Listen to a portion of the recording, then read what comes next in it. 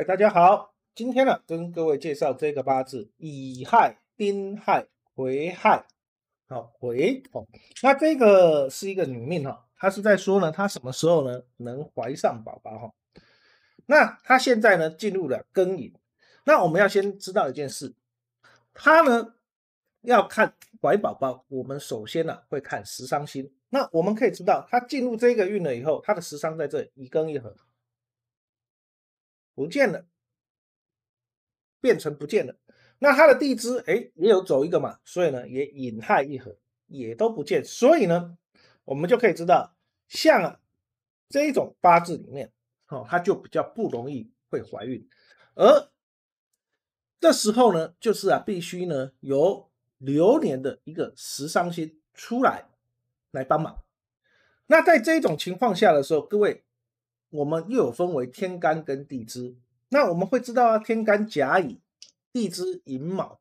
那在这个运程里面，各位你要了解一件事，天干跟地支来讲，天干相对而言呢，它比较不稳，所以我们一般呢比较不会去找天干的食伤，当然也可以找，但是呢，它就必须要怎样在。相对安全的时间去受孕，例如呢，假如它是在甲的时候，甲可以用，所以它在甲的时候，它就必须呢要等到当年度的十月以后去怀孕，它会比较安全一点。假如是在十月以前去怀孕哦，那基本上流产的几率非常非常大哦，所以甲乙年它是可以的。那过来呢？哦，我们会知道啊，是不是壬寅？但是呢，是还是一样没有没办法出来哦，因为流年假如是被合住的现象，那等着被宰，所以呢，食伤星被合，那就表示说呢，在这种情况下，就算让她怀孕，也很容易会出现流产的象。那再来就是癸卯，癸卯。好，所以呢，癸卯是一是一年呢不错的一个受孕啊。那再来就是甲辰，甲辰的话，那就必须要等一等，等到当年的十月份。所以各位，这个啊，就是呢一种的情况。而你不要以为你本命有啊，有啊，十伤星在这里啊。但是呢，各位是不是大运乙庚把它合掉，就变成是没有的一种相？所以各位像这一种的啊。很多人呢，总是啊在那边讲哦，我八字哦有没有财？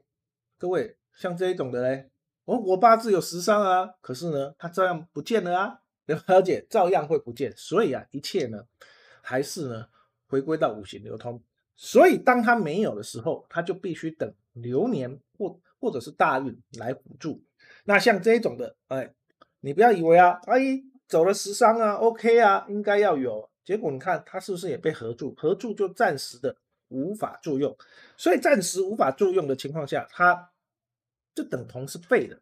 那这时候呢，只能够依靠流年来帮忙，而在流年里面又必须考虑到所谓的流年气，并不是整年度都有这个流年，所以你流年气你只要又没有去掌握的情况下，很容易变成是怎样？哦，怀孕了又流掉。那这样子啊是好很危险的一种情况，所以各位，当你了解的时候，你就会知道，哎，像这一种八字啊，它本命有，但是因为大运而没有，然后只能够静待流年的一个出现。但是呢，假如又是以流年来讲的话，就必须考虑到流年气的这一种的情况，否则的话很容易反而是受伤害。那今天就跟各位分享到这一边。大家假如喜欢我的影片，欢迎大家帮我按赞、关注、订阅、分享，并开启小铃铛，这样有最新的影片，你就可以随时接收到通知。大家下一次有缘再见，拜拜。